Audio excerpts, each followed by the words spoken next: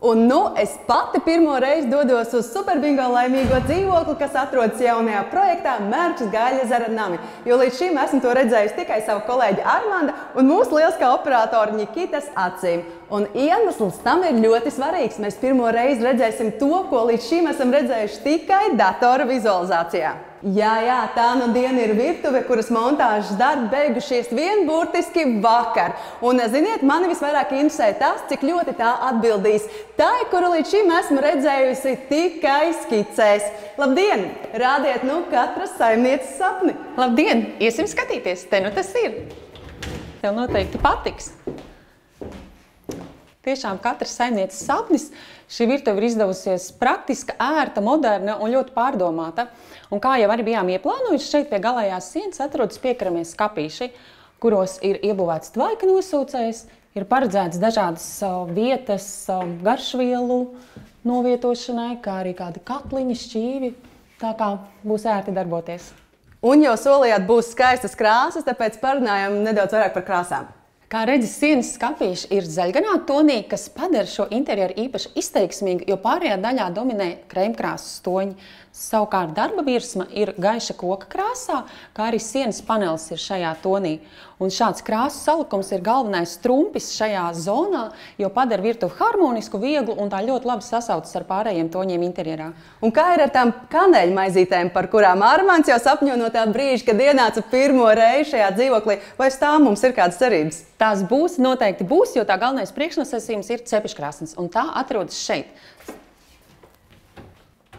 Un blakus atrodas izvēlkams grozs, kas ir paredzēts eļļu un dažādu garšvielu uzglabāšanai. Savukārt cepškrāsnes otrā pusē ir atvērti plaukti pavārgrāmatām un dažādām sīkām citām lietiņām. Jā, es arī redzu, ka šeit ir gaišs, tad varbūt nedaudz pastāsti vairāk par apgaismojumu. Šajā virtuvē apgaismojums ir paredzēts LED joslas un tas atrodas šeit zem iebūvētiem sienas skapīšiem.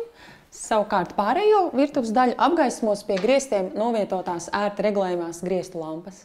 Nu, zini, neskatoties uz to, ka šeit tik tiešām ir gaišs, es neredzu, kur ir leduskapis. Un tas ir ļoti labi, jo tas atrodas šeit.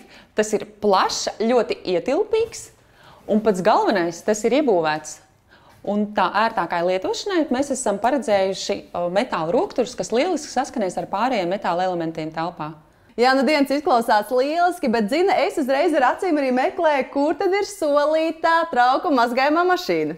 Tā atrodas šeit, līdzās tik modernai akmens masas izlietnei. Tā ir iebūvēta, praktiska un ļoti ērta lietošanā jauniem saimniekiem. Savukārt izlietnei otrā pusē atrodas atvilkņu bloks ar trijām atvilknēm.